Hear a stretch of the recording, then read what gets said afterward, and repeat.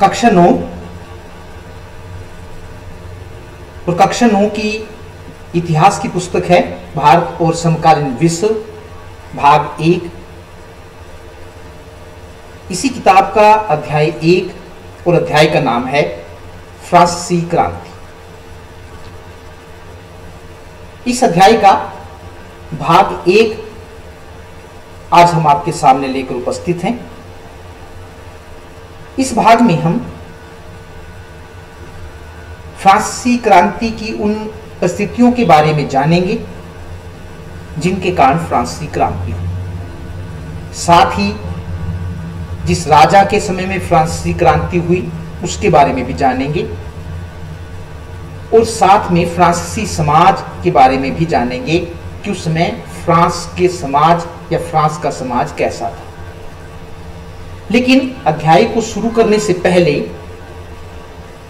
नक्शे पर यह जान लेना ज़रूरी है कि फ्रांस है कहाँ पर। विश्व का मानचित्र आपके सामने है। इसमें अलग अलग महाद्वीप दिखाए गए हैं। अगर माउस को आप देख रहे हैं तो ये जो नीले वाला है, ये माउस, ये एशिया है, लाल वाला अफ्रीका है, और ये जो ऑरेंज कलर में आप, संतरी कलर में आप देख रहे हैं ये यूरोप है और इस यूरोप में ये छोटा सा जो ग्रीन कलर में दिखाया हुआ है, ये फ्रांस है। तो इसका मतलब है कि जो फ्रांस है, वो यूरोप में है। तो यूरोप के नक्शे को अब देखेंगे। ये यूरोप है और इस यूरोप में अगर आप देख रहे हैं माउस को, ये यूके है, जिसको हम संयुक्त यूनाइटेड किंगडम कहते हैं, जिसको हम इंग्लैंड कहते हैं। और इसके नीचे जो है ये फ्रांस है, ये सारा का सारा। फ्रांस के पास ही ये बेल्जियम है और फ्रांस के जो नीचे है, वो स्पेन है। ऊपर जर्मनी है, आप देख रहे हैं। तो यूरोप में फ्रांस जो है, वो यूरोप में है। इसके बाद पूरा फ्रांस देखते हैं। तो इस नक्शे में अगर आप देख रहे हैं, ये फ्रांस है पूरा का पूरा, जिसको आप ऑरेंज कलर में देख रहे हैं। और इसके पास ही ये बेल्जियम है। तो यहीं पर वो फ्रांसीसी क्रांति हुई थी। फ्रांसीसी क्रांति यूरोप के इतिहास की एक बड़ी घटना थी। वैसे तो फ्रांसीसी क्रांति सत्रह में हुई थी। अंडरलाइन कीजिए, याद रखना है आपने कि फ्रांसीसी क्रांति कब हुई थी, सत्रह में 1789 में। लेकिन इसकी तैयारी बहुत पहले शुरू हो गई थी। कोई भी क्रांति अचानक नहीं होती हैं। पहले बहुत सारी परिस्थितियाँ बनी होती हैं, जिनके कारण वो क्रांति हुई थी। तो यही इसमें बता रखा है कि इसकी जो तैयारी है, वो बहुत पहले शुरू हो गई थी। सन 1774 में बूर्बो राजवंश का लुई सोलवा फ्रांस की राजगद्दी पर बैठा। फिर अंडरलाइन कीजिए कि लुई सोलवा जो था वो किस राजवंश का था और कब गद्दी पर बैठा? 1774 में बूर्बो राजवंश का लुई सोलवा फ्रांस की राजगद्दी पर बैठा, यानी कि राजा बना। उस समय उसकी उम्र केवल 20 साल थी। ये उनका चित्र आप देख रहे हैं। ये लुई सोलवा है, फ्रांस का राजा। उसका विवाह ऑस्ट्रिया की राजकुमारी मैरी एंटोनेट से हुआ था। ये भी आपने याद रखना है कि राजा लुई सोलवें की शादी किसके साथ हुई थी? ऑस्ट्रिया की राजकुमारी मैरी एंटोनेट से हुआ था। ये मैरी एंटोनेट का चित्र आपकी स्क्रीन पर है। जब वह राजा बना तो उसने खजाना खाली पाया। क्यों? क्योंकि लंबे समय तक चले युद्धों के कारण फ्रांस का खजाना खाली हो गया था। इसके अलावा महलों के रख रखाव तथा राज दरबार की शान शौकत बनाए रखने पर भी काफ़ी पैसा खर्च होता था। इसके कारण फ्रांस पर दो अरब लिरवे, ये फ्रांस की मुद्रा हुआ करती थी उस समय, लिरवे उसको कहते थे। तो ये सारी की सारी महलों के रख रखाव राज दरबार की शान शौकत और युद्धों के कारण जो था, वो खर्च काफ़ी बढ़ गया था, जिसके कारण फ्रांस पर दो अरब लिरवे, फ्रांस की मुद्रा का नाम है, का कर्ज था।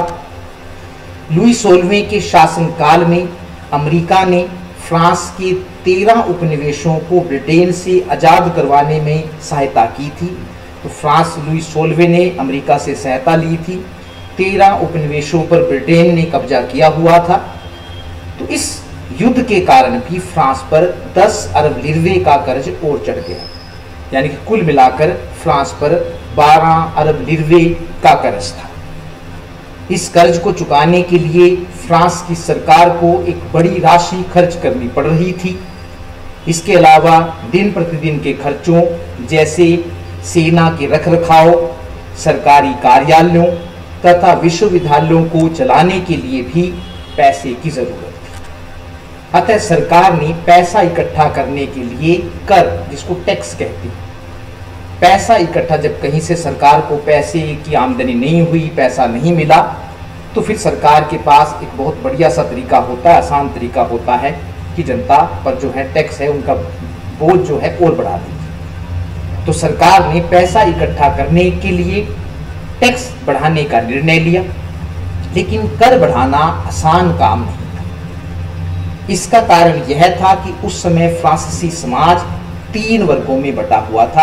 अंडरलाइन कीजिए कि लुई सोलवे के समय में फ्रांसीसी समाज कितने वर्गों में बटा हुआ था? तीन वर्गों में बटा हुआ था, जिन्हें एस्टेट कहा जाता था। हमारे यहाँ उनको वर्ग कहते हैं तो वो उनको एस्टेट कहते थे। ये तीन एस्टेट इस प्रकार थे। कौन कौन से तीन जो फ्रांसी समाज तीन वर्गों में बटा हुआ था और जिनको एस्टेट कहते थे? वो तीन उनके नाम हैं। पहला है उसमें, पहला स्टेट इसमें पादरी वर्ग के लोग शामिल थे। पादरी यानी कि जो चर्च में पूजा पाठ करते हैं। तो उनको पहले स्टेट के लोग माने जाते थे। पहला स्टेट इसमें पादरी वर्ग के लोग शामिल थे। इन्हें विशेष अधिकार मिले हुए थे, जो आम जनता को नहीं थे। और उन विशेष अधिकारों में एक महत्वपूर्ण अधिकार था, कर न देने का अधिकार। इन पर टैक्स नहीं लगता था पादरी वर्ग पर। उसके बाद है दूसरा स्टेट। इसमें कुलीन वर्ग, जिनको हम अमीर लोग कहते हैं, कि लोग शामिल थे। इन्हें भी विशेष अधिकार मिले हुए थे। बहुत सारे अधिकार तो उनमें एक अधिकार था कर न देने का अधिकार। इसका मतलब कहने का मतलब ये है कि इस बात से ये चीज़ स्पष्ट होती है कि पहले स्टेट के लोग भी टैक्स नहीं देते थे और दूसरे स्टेट के लोग भी टैक्स नहीं देते थे। तीसरा एस्टेट इसमें बड़े बड़े व्यवसायी, व्यापारी, वकील, किसान, कारीगर, छोटे किसान, मजदूर आदि सभी शामिल थे। तो सारे के सारे जो बाकी बच गए वो सारे के सारे तीसरे स्टेट में आते थे, चाहे फिर वो छोटे किसान थे, मजदूर थे या वकील थे, कारीगर थे, वो सारे इसमें शामिल थे सारे काम इन्हीं को करने पड़ते थे, तथा सारे टैक्स या कर भी यही लोग देते थे। तो आपके सामने तस्वीर बिल्कुल स्पष्ट हो गई होगी कि फ्रांसी समाज तीन वर्गों में बटा हुआ था, जिसको एस्टेट कहते थे। पहले एस्टेट और दूसरे एस्टेट के लोग टैक्स नहीं देते थे क्योंकि उनको विशेष अधिकार मिले हुए थे। तीसरा स्टेट जिसमें वकील, किसान, कारीगर, छोटे किसान, मजदूर सभी आते थे, वही वास्तव में सारे के सारे काम करते थे और वही टैक्स देते थे। तो इस प्रकार जो फ्रांस का समाज था, वो एक अलग प्रकार की व्यवस्था में बंधा हुआ था। फ्रांस की 90 प्रतिशत जनसंख्या किसान किसान थी। ये भी अंडरलाइन कीजिए कितने प्रतिशत लोग खेती बाड़ी करते थे। फ्रांस की 90 प्रतिशत जनसंख्या किसान थी, लेकिन ज़मीन पर कुलीन वर्ग, चर्च और बड़े किसानों का अधिकार तो ये भी एक अजीब स्थिति थी कि 90 प्रतिशत लोग खेती करते थे, लेकिन जो ज़मीन के मालिक थे, वो कुलीन वर्ग, जिनको हम अमीर लोग कहते हैं, चर्च और बड़े किसान उन का अधिकार था। सारे कर भी इन 90 प्रतिशत लोगों को ही देने पड़ते तो एक भेदभाव वाला समाज था, जिसमें जिन लोगों के पास था, वो पैसा नहीं दे वो टैक्स नहीं देते थे। और जो बेचारे गरीब लोग थे, जिनके पास पैसा नहीं था, करों का बोझ भी उनके ऊपर ही डाला गया था। तो 90 प्रतिशत लोग ही कर देते थे। कुछ कर या टैक्स के नाम हम आपको बता देते हैं कौन कौन से कर लगते थे।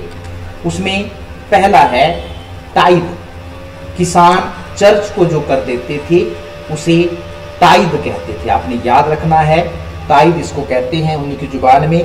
तो ये जो कर था, वो किसान चर्च को देता था। दूसरा है टाइल। किसान सरकार को जो कर देते थे, उसे टाइल कहते थे। तो दो प्रकार के करों के आपके बारे में बताया गया है। एक टाइल था, वो चर्च को देना होता था, किसान को देना होता था। और एक टाइल था, जो किसान को सरकार को देना होता था। मजदूर कारखानों में काम करते थे जिनकी मजदूरी मालिक तय करते थे। लेकिन जो मजदूरी होती थी, वह काफ़ी कम होती थी। इतनी कम मजदूरी में गरीब आदमी अपने लिए दो वक्त की रोटी नहीं खरीद सकता। इतनी कम होती थी मजदूरी कि गरीब आदमी जो दो वक्त की रोटी खाता है, वो उससे नहीं खरीद सकता था। स्थितियाँ तब और भी खराब हो जाती थी जब सूखे या ओले पड़ने के कारण पैदावार घट जाती थी। इससे गरीब आदमी के सामने रोजी रोटी का संकट पैदा हो जाता था, जिसे जीविका संकट कहा जाता था। अगर किसी साल ओले पड़ गए या किसी साल बरसात नहीं हुआ हुई सूखा पड़ गया तो फ़सल घट जाती थी। फ़सल घटने का जो बुरा परिणाम होता था, वो गरीब आदमी पर पड़ता पड़ता था, क्योंकि उसके लिए रोजी रोटी का संकट पैदा हो जाता था कि कहाँ से खाएगा। तो इसे जो रोजी रोटी का संकट जो पैदा होता था, उसे जीविका संकट कहा जाता था। अब ये भी जान लेते हैं, जीविका संकट क्या था। ऐसी चरम स्थिति, जब जीवित रहने के न्यूनतम साधन भी खतरे में पड़ने लगती हैं, उसे जीविका संकट कहते हैं। दोबारा फिर मैं आपको बता रहा हूँ, ऐसी चरम स्थिति, जब जीवित रहने के न्यूनतम साधन भी खतरे में पड़ने लगते जीवित रहने के लिए जो रोटी है, वो भी ना मिले तो उसे जीविका संकट कहते हैं। ऐसे जीविका संकट प्राचीन फ्रांस में काफ़ी आम थे। साल दो साल के बाद ऐसे संकट आते रहते थे। फ्रांस की जनसंख्या सन 1715 में दो दशमलव तीन करोड़ थी, जो सन सत्रह में बढ़कर दो दशमलव आठ करोड़ हो गई। लेकिन जिस तेज गति से जनसंख्या बढ़ी, उस तेज गति से अनाज का उत्पादन नहीं बढ़ा। अतः अनाज का उत्पादन न बढ़ने से उसकी मांग काफ़ी तेज़ी से बढ़ी। जब अनाज उतना का उतना रहे, खाने वाले पेट बढ़ जाए तो मांग तो बढ़ेगी, और जब मांग बढ़ेगी तो कीमतें भी बढ़ेगी। उस समय फ्रांस के लोगों का मुख्य भोजन पाव पाव रोटी हुआ करता था। पाव रोटी आपने देखी होगी। ये होती है पाव रोटी हमारे यहाँ पर इसको डबल रोटी कहते हैं। उभरता हुआ मध्यम वर्ग और विशेष अधिकारों के अंत की कल्पना। तो इन्हीं परिस्थितियों में फ्रांस में एक मध्यम वर्ग पैदा हुआ, उभरता हुआ मध्यम वर्ग और विशेषाधिकारों के अंत की कल्पना और इस वर्ग ने जो फ़र्स्ट पहले स्टेट और दूसरे स्टेट के लोगों को विशेष अधिकार मिले हुए थे, उनको समाप्त करने की बात कही। पहले भी फ्रांस में जब भी राजा कर बढ़ाता था तो किसान और मजदूर विद्रोह करते थे। लेकिन उस समय उनके पास सामाजिक एवं आर्थिक व्यवस्था में बुनियादी बदलाव लाने के लिए कोई निश्चित कार्यक्रम नहीं होता था। ऐसा नहीं है कि जो फ्रांसी क्रांति हुई, वो सत्रह सौ नवासी में हुई हुई। इससे पहले भी राजा टैक्स बढ़ाता था लोग विद्रोह भी करते थे, लेकिन उस विद्रोह का कोई परिणाम नहीं निकलता था। उसका कारण ये था कि लोगों के पास आर्थिक व्यवस्था में बदलाव लाने के लिए कोई कार्यक्रम नहीं होता था। अब की बार यह ज़िम्मेदारी तीसरे एस्टेट के उन लोगों ने उठाई जो पढ़ लिख गए थे। जैसे जैसे परिस्थितियाँ बदलती है तो जो किसान के बेटे हैं या जो मजदूर के बेटे हैं, वो पढ़ लिख जाते हैं। और जब उनमें ज्ञान का संचार होता है, नए विचारों के संपर्क में आते हैं तो जो व्यवस्था, जो भेदभावपूर्ण समाज चला आ रहा होता है, वो उसको बदलने की कोशिश करते हैं। तो अब की बार यह ज़िम्मेदारी तीसरे एस्टेट के उन लोगों ने उठाई, जो पढ़ लिख गए थे तथा नई विचारों के संपर्क में आए थे।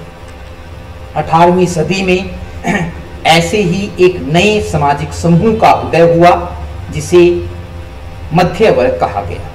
इसने फैलते समुद्र पारिय व्यापार से पैसा कमाया था, ये वे लोग थे जो व्यापारी थे। तो जब समुद्र व्यापार बढ़ा तो इन लोगों ने खूब पैसा कमाया। तीसरे एस्टेट के इन लोगों में व्यापारी, प्रशासनिक अधिकारी, वकील जैसे पेशेवर लोग शामिल थे। ये सभी पढ़े लिखे थे और इनका मानना था कि समाज के किसी भी समूह के पास जन्मजात विशेषाधिकार नहीं होने चाहिए। एक नए विचार की उत्पत्ति हो रही थी कि समाज में सभी बराबर होने चाहिए और किसी भी समूह के पास जन्म से विशेष अधिकार नहीं होने चाहिए। किसी भी व्यक्ति की सामाजिक हैसियत का आधार उसकी योग्यता ही होनी चाहिए। इन लोगों ने ऐसे समाज की कल्पना की जो स्वतंत्रता, समान नियमों और समान अवसरों के विचार पर धारित तो एक ऐसे समाज की वो स्थापना करना चाहते थे, जिसमें सभी स्वतंत्र हो, सभी पर समान नियम लागू हो और सभी को आगे बढ़ने के समान अवसर मिले। ऐसे समाज की रूपरेखा जॉन लॉक और रूसो जैसे दार्शनिकों ने प्रस्तुत की थी। अपनी पुस्तक टू ट्रीटीज ऑफ़ गवर्नमेंट में जॉन लोक ने राजा के दैवीय और निरंकुश अधिकारों के सिद्धांत का खंडन किया था। क्योंकि इससे पहले यह माना जाता था कि जो राजा के अधिकार है, वो भगवान ने दिए हैं और जैसा राजा कहता है, प्रजा को वैसे ही चलना चाहिए। लेकिन जॉन लोक ने अपनी पुस्तक टू ट्रीटीज ऑफ़ गवर्नमेंट में राजा के इन दैवीय या फिर निरंकुश अधिकारों के सिद्धांत का खंडन किया। रूसो ने भी एक दूसरे दार्शनिक हुए हैं। रूसो ने भी इसी विचार को आगे बढ़ाया। मानतेस्क्यू ने द स्पिरिट ऑफ़ द लाज नामक अपनी पुस्तक में इनके नाम भी याद रखने आपने कि किसकी कौन सी पुस्तक थी। तो मानतेस्क्यू ने द स्पिरिट ऑफ़ द लाज नामक अपनी पुस्तक में सरकार के अंगों, विधायिका, कार्यपालिका और न्यायपालिका के बीच सत्ता को बांटने की बात कही। उनका ये मानना था मानतेस्क्यू का कि सारी की सारी जो शक्तियाँ हैं, वो एक अंग में नहीं होनी चाहिए, बल्कि सरकार के तीन अंग होते हैं, विधायिका, कार्यपालिका और न्यायपालिका। इसलिए जो शक्तियाँ हैं वो तीनों अंगों में बटी होनी चाहिए। दार्शनों के, दार्शनिकों के इन विचारों पर काफ़ी हाउसों व सैलोन की गोष्ठियों में जो वहाँ पर उस समय होते थे, कॉफ़ी हाउस कहते थे उनको, या फिर सैलोन की गोष्ठियों में जहाँ पर लोग बैठते थे जाकर गर्मा गर्म बहस हुआ करती थी, उनके विचारों वाली पुस्तकों एवं अखबारों को लोगों के बीच ज़ोर ज़ोर से पढ़ा जाता था, ताकि अनपढ़ लोग भी उन्हें समझ सके। क्रांति की शुरुआत, क्रांति की शुरुआत फ्रांसीसी क्रांति की बात हो रही है यहाँ पर। तो शुरुआत कैसे हुई? इसी समय जब सरकार के खर्चे पूरे नहीं हुए, ये हम पीछे आपको बता चुके हैं तो लुई सोलवे ने कर बढ़ाने का फैसला किया। कई प्रकार के खर्चे थे, काफ़ी कर्ज भी देना था, लेकिन वह अपनी मर्ज़ी से कर नहीं बढ़ा सकता था। इसके लिए एस्टेट जनरल एस्टेट जनरल क्या थी? प्रतिनिधि सभा थी, जो राजा को उसके कामों में सलाह देने का काम करती थी। तो कर बढ़ाने का जो निर्णय राजा ने लिया था तो उसके लिए एस्टेट जनरल प्रतिनिधि सभा की मंजूरी लेना ज़रूरी था। अब ये एस्टेट जनरल क्या थी, ये आगे बताया गया आपको। एस्टेट जनरल एक राजनीतिक संस्था थी, जिसमें तीनों स्टेट जो तीनों स्टेट ऊपर आए हैं, प्रथम स्टेट दूसरा स्टेट और तीसरा स्टेट कौन कौन लोग उसमें शामिल थे वो हम आपको बता चुके हैं। तो इस जनरल स्टेट में तीनों स्टेट अपने अपने प्रतिनिधि भेजते थे पाँच मई सत्रह सौ नवासी को लुई सोलवे ने वर्साई में एक जगह का नाम है, शहर का नाम है एस्टेट जनरल की बैठक बुलाई। पहले और दूसरे एस्टेट ने इस बैठक में अपने 300-300 प्रतिनिधि भेजे। लेकिन तीसरे एस्टेट के 600 प्रतिनिधियों ने भाग लिया। ये सभी पढ़े लिखे लोग थे जो तीसरे स्टेट के 600 प्रतिनिधि गए थे बैठक में, जनरल स्टेट की बैठक में भाग लेने के लिए। वो सभी के सभी पढ़े लिखे लोग थे। ये बैठक का एक दृश्य है वर्साई में, जहाँ पर ये हुई थी सत्रह सौ नवासी में। तो किस तरह से आप उनको देख सकते हैं? पहले, ये पहले स्टेट के लोग भी बैठे हुए हैं, दूसरे स्टेट के लोग भी बैठे हुए हैं। और ये जो 600 प्रतिनिधि तीसरे स्टेट के लोगों ने भेजे थे, ये वास्तव में सारे के सारे खड़े हुए हैं। उसमें भेदभाव, पूर्ण व्यवहार किया जाता था। एस्टेट जनरल के नियम के अनुसार प्रत्येक एस्टेट को एक वोट देने का अधिकार। तो ये एक अलग प्रकार की व्यवस्था थी। प्रत्येक एस्टेट 300-300 प्रतिनिधि भेजता था। लेकिन हैरानी की बात ये थी कि जब वोटिंग होती थी, जब मतदान होता था तो प्रत्येक को एक वोट देने का अधिकार था, यानी कि 300 लोगों का एक वोट माना जाता था। स्टेट जनरल के नियम के अनुसार प्रत्येक स्टेट को एक वोट देने का अधिकार था। लेकिन तीसरे स्टेट ने मांग रखी कि बैठक में भाग लेने वाले प्रत्येक सदस्य को एक वोट देने का अधिकार। उन्होंने कहा कि जितने लोग आए हुए हैं, उन सभी को एक एक वोट देने का अधिकार होना चाहिए, ना कि प्रत्येक स्टेट का एक वोट होना चाहिए। उनका कहना था कि यह लोकतंत्र के सिद्धांत के अनुसार भी है। लेकिन सम्राट ने इस बात को मानने से इनकार कर दिया, नाराज़ होकर तीसरे एस्टेट के लोग सभा को छोड़कर चले गए। 20 जून सत्रह को तीसरे एस्टेट के लोग वर्साए के, जो वर्साए शहर था, के टेनिस कोर्ट में इकट्ठा हुए। उन्होंने अपने आप को नेशनल असेंबली घोषित कर दिया। जो एस्टेट था, उसको ख़त्म कर दिया और एक नई सभा की स्थापना की, कानून बनाने वाली संस्था की स्थापना की, जिसका नाम रखा गया नेशनल असेंबली तो तीसरे स्टेट के लोगों ने जो 600 प्रतिनिधि वहाँ पर गए थे, वो बाद में नेशनल असेंबली बन गए थे। तो उन्होंने अपने आप को नेशनल असेंबली घोषित कर लिया और राजा की शक्तियों को कम करने वाला नया संविधान बनाने का निर्णय लिया। तो ये टेनिस कोर्ट का दृश्य है, जहाँ पर आप देख रहे हैं जो तीसरे स्टेट के लोग थे, वो वहाँ इकट्ठे हुए थे, अपने आप को नेशनल असेंबली बना लिया था और राजा की शक्तियों को कम करने वाला एक नया संविधान उन्होंने बनाने का निर्णय लिया था।